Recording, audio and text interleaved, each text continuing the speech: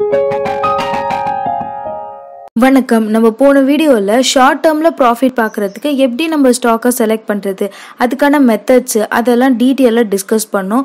So அதனால் இன்றைக்கி நம்ம என்ன பார்க்க போகிறோம்னா அதே ஷார்ட் டேர்மில் ஸ்விங் ட்ரேடிங்க்கு ஒரு ரெண்டு ஸ்டாக்கை பற்றி டிஸ்கஸ் பண்ண போகிறோம் ஸோ அந்த ரெண்டு ஸ்டாக்குமே வந்து என்னென்னா large cap stocks so large cap ஸ்டாக்ஸ்லேருந்து ரெண்டு ஸ்டாக்கு ஸ்விங் ட்ரேடிங்க்கு இப்போ கரண்ட்டாக ட்ரேட் பண்ணக்கூடிய ரெண்டு ஸ்டாக்கை பற்றி தான் டிஸ்கஸ் பண்ண போகிறோம் நான் வந்து ஸ்டாக் அட்வைசர் கிடையாது. நான் இப்போ டிஸ்கஸ் பண்ண போகிற ரெண்டு ஸ்டாக்குமே வந்து என்னோட அனாலிசிஸ் தான் நான் உங்ககிட்ட ஷேர் பண்ணுறேன் ஸோ உங்களோட ஓன் அனலைஸ் பண்ணுங்க. இல்லைன்னா ஸ்டாக் அட்வைசரை கேட்டு நீங்கள் ட்ரேட் பண்ணலாம். ஆல்ரெடி நம்ம சேனலில் மல்டி பேக்கர் ரிட்டர்ன் கொடுக்குற மாதிரி மூணு லார்ஜ் கேப் ஸ்டாக்ஸை பற்றி டீட்டெயிலாக டிஸ்கஸ் பண்ணியிருப்போம் அந்த வீடியோட லிங்க்கு கீழே டிஸ்கிரிப்ஷனில் இருக்கு. போய் பாருங்க. ஃபஸ்ட்டு நம்ம பார்க்க போகிற ஸ்டாக் பேர் வந்து ஹிண்டால்கோ இண்டஸ்ட்ரி லிமிடெட் ஸோ இந்த ஹிண்டால்கோ இண்டஸ்ட்ரி லிமிடெட் வந்து ஆதித்யா பிர்லா குரூப்போட ஒரு சப்சிடரி ஒரு கம்பெனி தான் வந்து ஹிண்டால்கோ இண்டஸ்ட்ரி லிமிடெட் இது எப்போ ஸ்டார்ட் ஆயிருக்குன்னா நைன்டீன் ஃபிஃப்டி எயிட்டில் ஸ்டார்ட் ஆயிருக்கு.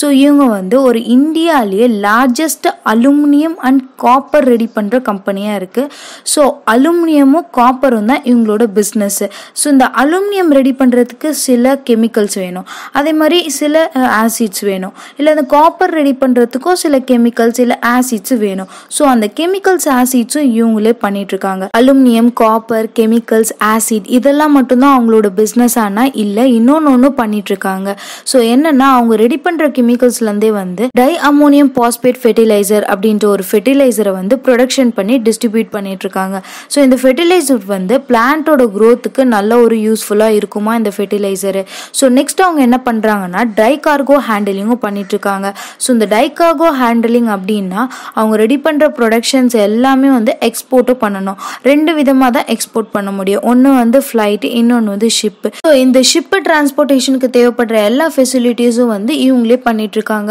ஸோ எங்களோட பிஸ்னஸ் வந்து அலுமினியம் காப்பர் கெமிக்கல்ஸ் ஆசிட் இதெல்லாம் மட்டும்தான் அவங்களோட பிஸ்னஸ்ஸு ஸோ இதெல்லாமே ரெடி பண்ணுறதுக்கு வந்து அவங்க என்ன பண்ணுறாங்கன்னா மேனுஃபேக்சரிங் யூனிட்ஸ் எத்தனை இருக்குன்னா இந்தியாவில் ஃபார்ட்டி செவன் யூனிட்ஸ் இருக்குது ஸோ அதுக்கப்புறம் அதை ப்ரொடக்ஷன் பண்ணி அதை எக்ஸ்போர்ட் பண்ணுறதுக்கு டென் கண்ட்ரீஸ் மேலே அவங்க பார்ட்னர்ஷிப்பும் வச்சுருக்காங்க. ஸோ எங்களோட ரெவன்யூ வந்து எப்படி இன்க்ரீஸ் ஆயிருக்கு அப்படின்னு பார்த்தீங்கன்னா Q one குவார்ட்டரில் twenty five thousand two hundred and eighty three crores இருந்திருக்கு. அதுக்கப்புறமா கியூ டூ குவார்ட்டரில் வந்து thirty one thousand two hundred and thirty seven crores இருந்திருக்கு.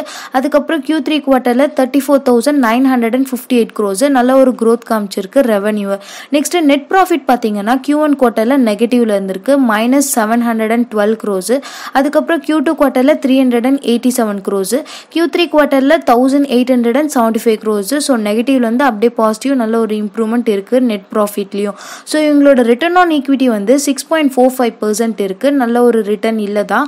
அதுக்கப்புறம் அவங்களோட டிவிடெண்ட்டும் வந்து ஒன் ருபி பர் ஷேர்னு கொடுத்துட்ருக்காங்க. ஸோ நெக்ஸ்ட் அவங்களோட கரண்ட் ரேஷியோ வந்து ஒன் பாயிண்ட் செவன் எயிட்டில் இருக்குது ஸோ நல்ல ஒரு ரேஷியோவில் தான் இருக்குது நெக்ஸ்ட் அவங்களோட டோட்டல் டெப்ட் ஈக்விட்டி ரேஷியோ வந்து ஒன் பாயிண்ட் ஒன் ஃபைவ் டைம்ஸில் இருக்குது ஸோ கடனும் வந்து கொஞ்சம் அதிகமாக தான் இருக்குது ஸோ இப்போ உங்களுக்கு ஒரு டவுட் வரும். ஸோ இந்த ரேஷியோஸ் எல்லாமே வந்து இந்த அளவுக்கு இருந்துச்சுன்னா தான் அது வந்து கரெக்டான ரேஷியோ அப்போ தான் நீங்கள் செலக்ட் பண்ணோம் அப்படின்னு நீங்கள் சொன்னீங்க. ஸோ இந்த டோட்டல் டெப்ட் ஈக்விட்டி ரேஷியோ வந்து ஒன்றுக்கு மேலே அதிகமாக இருக்குது ரிட்டர்ன் ஆன் ஈக்விட்டி ரொம்ப கம்மியாக இருக்குது ஸோ இந்த மாதிரி டைம்ஸில் இந்த ஸ்டாக்கை செலக்ட் பண்ணி ட்ரேட் பண்ணலாமா? ஸோ ரேஷியோஸ் வந்து கம்மியாக இருக்குது கரெக்டாக இல்லை நம்ம நினச்ச மாதிரி இல்லை அப்படின்னா ஸோ ஒன்று ரெண்டு ரேஷியோ வந்து நம்ம நினச்ச மாதிரி இல்லைனாலும் மற்ற ரேஷியோஸ் எல்லாம் கரெக்டாக இருக்குது ஸோ ஸோ அந்த ரேஷியோஸை மட்டுமே நம்ம பார்க்கக்கூடாது. அந்த கம்பெனியோட பிஸ்னஸ் மாடல் எப்படி இருக்குது அது இம்ப்ரூவ் ஆகும் அப்படின்னு மீதி எல்லாம் அந்த டெக்னிக்கல் எல்லாமே கரெக்டாக இருக்குது இந்த ரெண்டு மட்டும் இருக்குன்னா அதை நீங்கள் கன்சிடர் பண்ண தேவையில்லை. ஸோ நம்ம வந்து ஸ்விங் ட்ரேடிங் தான் பண்ணுறோம் ஸோ நம்ம ஷார்ட் டேர்மில் ப்ராஃபிட் பார்த்துட்டு வெளியே வந்துடணும் ஸோ அதனால் நம்ம இந்த பேராமீட்டர்ஸ் எல்லாம் கன்சிடர் பண்ணணும்னு அவசியம் இல்லை. ஸோ ஒருவேளை நீங்கள் லாங் டேர்ம் இன்வெஸ்டர் அப்படின்னீங்கன்னா இது எல்லாமே கரெக்டாக நான் சொன்ன மாதிரி இந்த ரேஷியோவில் தான் இருக்கணும். ஸோ அப்போ தான் நம்மளுக்கு வந்து நல்ல ஒரு ப்ராஃபிட் லாங் டேர்மில் டிவிடெண்ட்டும் நம்மளுக்கு நல்லா வரும். ஸோ நம்ம ஸ்விங் ட்ரேடிங் பண்ணுறதுனால இதெல்லாமே வந்து நம்ம கன்சிடர் பண்ண தேவையில்லை. ஜஸ்ட் நம்ம வந்து இந்த ரெண்டு பேராமீட்டர் மட்டும்தான் இல்லை. ஆனால் மோஸ்ட்டாக எல்லாமே வந்து நம்மளுக்கு இருக்குன்றதுனால நம்ம ட்ரேட் பண்ணிக்கலாம். ஸோ நெக்ஸ்ட்டு இண்டால்கோ இண்டஸ்ட்ரியில் இப்போ ரீசெண்டாக என்னெல்லாம் நடந்திருக்கு? ஸோ என்ன நியூஸ் வந்திருக்கு அப்படின்னு பார்க்கலாம். ஸோ இந்த நோவல்ஸ்ன்ற ஒரு கம்பெனியோட நெட் ப்ராஃபிட் வந்து நல்லா இன்க்ரீஸ் ஆயிருக்கு. ஒன் எயிட்டி பர்சன்ட் அப்படின்ன மாதிரி அவங்க ரிப்போர்ட் கொடுத்துருக்காங்க. ஸோ இந்த நோவல் கம்பெனி கம்பெனி ஏன் நீங்கள் சொல்கிறீங்க இது இண்டால்கோ தானே. ஸோ இண்டால்கோவோட சப்சிடரி தான் வந்து நோவல்ஸ் ஸோ அந்த கம்பெனிலே வந்து ஒன் எயிட்டி பர்சன்ட் நல்ல ஒரு இம்ப்ரூவ்மெண்ட் கொடுத்துருக்காங்க இந்த மார்ச் குவார்ட்டரில் ஸோ இந்த நோவல்ஸ் வந்து ஒரு லார்ஜஸ்ட் அலுமினியம் கம்பெனி யூஎஸ்ஏல இருக்குது இந்த கம்பெனி ஸோ இந்த கம்பெனிலேருந்தே இவ்வளோ ப்ராஃபிட் நல்லா வந்திருக்கு அப்படின்னு சொல்லியிருக்காங்க. ஸோ அந்த ப்ராஃபிட் ரிப்போர்ட் பண்ணுறது அப்போவே வந்து அவங்க மீட்டிங்கில் என்ன சொல்லியிருக்காங்கன்னா அவங்க இண்டால்கோ இண்டஸ்ட்ரியில் வந்து ரீஇன்வெஸ்ட் பண்ண போகிறாங்களாம் இன்னும் நல்லா கோர் பிஸ்னஸ் எல்லாம் இம்ப்ரூவ் பண்ண போகிறாங்களாம் ஸோ அதுக்கப்புறம் அவங்களோட டெப்ட்டும் இன்னும் நல்லா கம்மி பண்ண போகிறாங்க அவங்களோட லிக்விடிட்டியும் வந்து நல்ல ஒரு அடிக்வேட்டாக மெயின்டைன் பண்ண போகிறாங்க அப்படின்னு சொல்லியிருக்காங்க. ஸோ இந்த நோவல்ஸ்ன்ற கம்பெனிலே வந்து நல்ல ஒரு ப்ராஃபிட் காமிச்சிருக்காங்க. ஸோ இண்டால்கோவோட இண்டஸ்ட்ரியோட ரிசல்ட் எப்போ சொல்லியிருக்காங்கன்னா இன்னைக்கு தான் ஸோ அந்த ரிசல்ட் வந்துச்சிங்கன்னா கன்ஃபார்மாக நல்ல ஒரு ப்ராஃபிட் தான் காமிக்க போகிறாங்க ஸோ அதனால ஒரு ஷார்ட் டேர்ம்க்கு நம்ம ஒரு நல்ல ஒரு ப்ராஃபிட் பார்க்கலாம். இண்டால்கோ இண்டஸ்ட்ரி லிமிடெட் கம்பெனியோட சார்ட் ஓப்பன் பண்ணியிருக்கேன். இந்த கம்பெனியோட லாஸ்ட்டாக ட்ரேட் பண்ணியிருக்க ப்ரைஸ் வந்து three hundred and eighty nine rupees so லாஸ்ட்டாக நம்மளுக்கு டோஜி பேட்டர்ன் ஃபார்ம் ஆயிருக்கு. ஸோ நல்லா ஒரு ஒன் மந்த்தாகவே வந்து இந்த கம்பெனியோட ப்ரைஸ் வந்து நல்லா இம்ப்ரூவ்மெண்ட்டாக மேலே போயிட்டே வந்துட்டு இருந்திருக்கு. ஸோ ரெசிஸ்டன்ஸ் பார்த்தீங்கன்னா four hundred and twenty five ருபீஸ்னு லாஸ்ட்டாக ரெசிஸ்டன்ஸ் வந்திருக்கு. ஸோ அதே மாதிரி சப்போர்ட்னு பார்த்தீங்கன்னா கீழே த்ரீ ஹண்ட்ரட் அண்ட் செவன்ட்டி அப்படி கிட்ட வந்திருக்கு. ஸோ நான் வந்து என்ன சொல்கிறேன்னா ஃபோர் ஹண்ட்ரட் அண்ட் டென் அப்படின்ற ப்ரைஸ் வந்து க்ராஸ் ஆச்சுன்னா அதுக்கப்புறம் வந்து இருக்கிற resistance four twenty twenty four thirty four forty மேலே வரைக்கும் போகிறதுக்கு சான்சஸ் இருக்குது ஸோ ஃபோர் டென் அப்படின்ற ரெசிஸ்டன்ஸை கிராஸ் ஆச்சுனாவே நீங்கள் பை பண்ணிக்கலாம். ஸோ நம்ம ஃபண்டமெண்டலாக அந்த கம்பெனி எப்படி இருக்குது அப்படின்னு எல்லாமே பார்க்குறதும் ஒரு சைடு இருந்தாலும் ஸோ அந்த டெக்னிக்கல்ஸும் நம்ம இம்பார்ட்டண்ட்டாக பார்க்க வேண்டியது இருக்குது ஸோ டெக்னிக்கல் அனாலிசிஸ் எப்படி நம்ம தெரிஞ்சுக்கிறது? அதுக்கான லெக்சர்ஸும் நம்ம சேனலில் போட்டிருக்கேன். அந்த வீடியோட லிங்க்கு கீழே டிஸ்கிரிப்ஷனில் இருக்குது போய் பாருங்கள் செகண்ட் லார்ஜ் கேப் கம்பெனியாக நம்ம பயோகான் கம்பெனி பற்றி பார்க்கலாம். ஸோ இந்த பயோகான் கம்பெனி வந்து நைன்டீன் செவன்ட்டி எயிட்டில் ஸ்டார்ட் ஆயிருக்கு. ஸோ இந்த கம்பெனி வந்து ஒரு ஃபார்மசிட்டிக்கல் கம்பெனி ஸோ நம்ம ஃபார்மசிட்டிக்கல் கம்பெனினாவே நம்மளுக்கு கொஞ்சம் அண்டர்ஸ்டாண்ட் பண்ணிக்கிறதுக்கு கொஞ்சம் கஷ்டமாக இருக்கும். ஸோ நான் பயோ குரூப் இருக்கிறவங்களுக்கு எல்லாருக்குமே.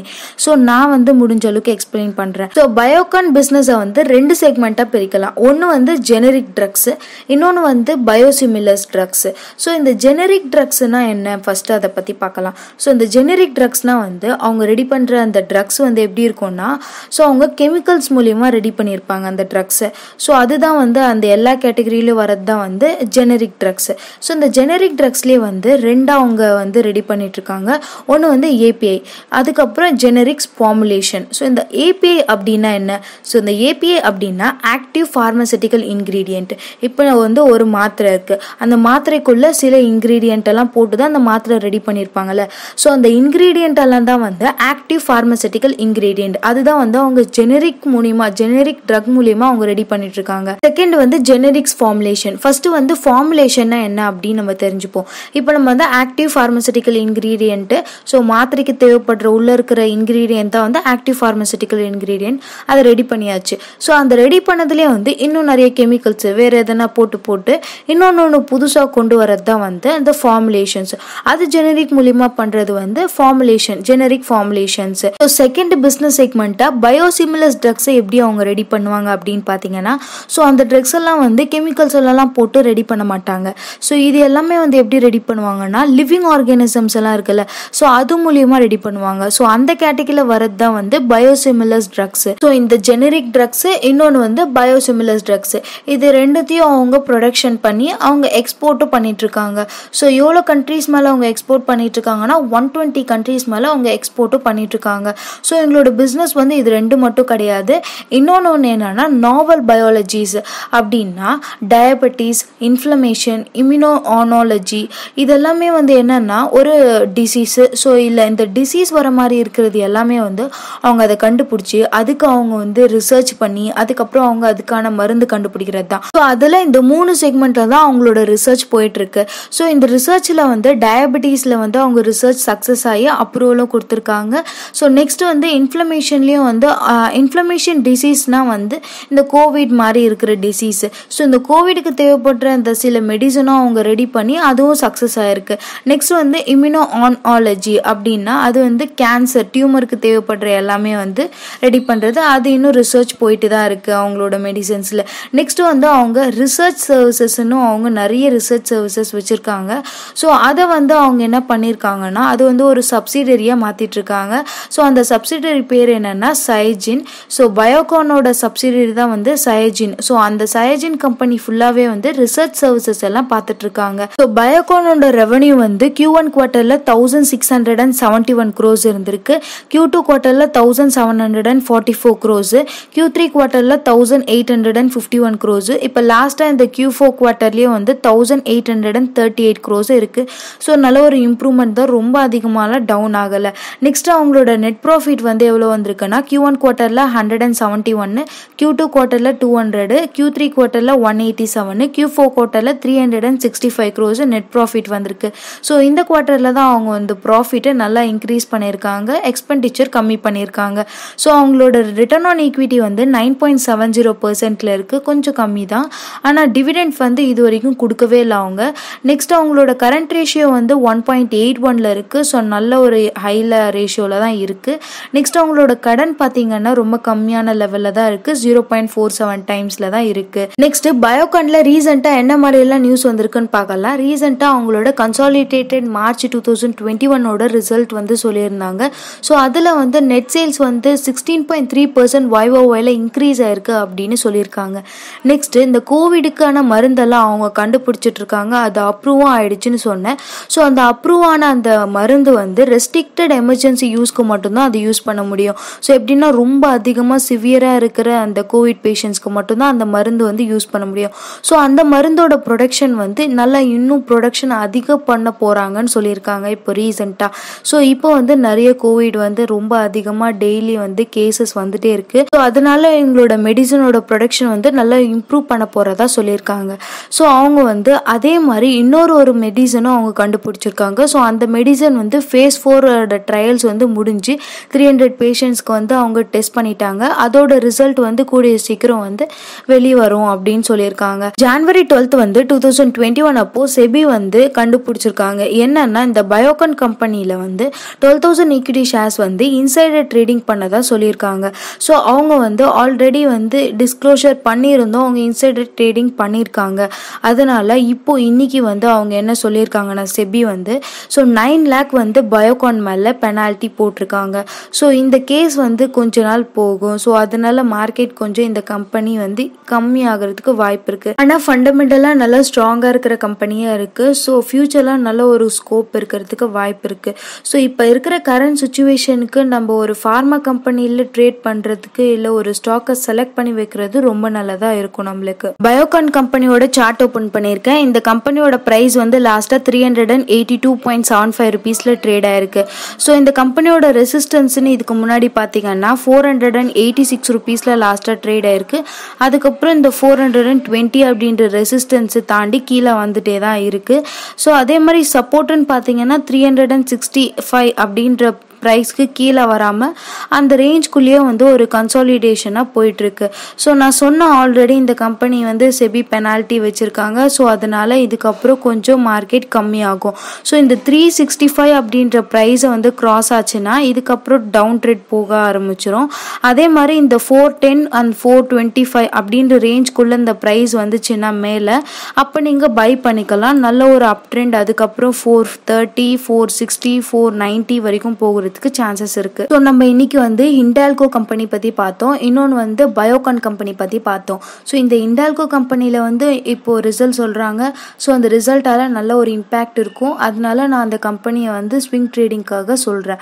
ஆனால் பயோகான் கம்பெனி வந்து அதே ஸ்விங் ட்ரேடிங்காக சொல்லலாம். ஆனால் இப்போ அது வந்து கொஞ்சம் டவுனில் போகிறதுக்கு வாய்ப்பு இருக்கு இந்த செபியோட பெனால்ட்டியால் ஆனால் ஃப்யூச்சரில் நல்ல ஒரு ஸ்விங் ட்ரேடிங்க்கும் நம்மளுக்கு யூஸ்ஃபுல்லாக இருக்கும். இதை வந்து ஃபார்மா கம்பெனி நம்ம செலக்ட் பண்ணி வைக்கிறது நம்ம நம்மளுக்கு நல்லது தான். இந்த வீடியோ உங்களுக்கு பிடிச்சிருந்துச்சுன்னா லைக் பண்ணுங்கள் ஷேர் பண்ணுங்கள் உங்கள் ஃப்ரெண்ட்ஸ் யாராவது இன்வெஸ்டிங்கில் இன்ட்ரெஸ்ட்டாக இருந்தாங்கன்னா அவங்களுக்கும் ஷேர் பண்ணிவிடுங்க இந்த மாதிரி நிறைய வீடியோஸ் நான் போடணும்னா கீழே என்ன டாப்பிக்கில் போகணும்னு கமெண்ட் பண்ணுங்கள் ட்ரேடிங்கில் சக்ஸஸ் ஆகணும்னா என்னோட பில்லியன் சேனலுக்கு சப்ஸ்கிரைப் பண்ணிக்கோங்க. பில்லியன் தமிழ்னு ஃபேஸ்புக் இன்ஸ்டாகிராம் பேஜில் ஃபாலோ பண்ணுங்கள்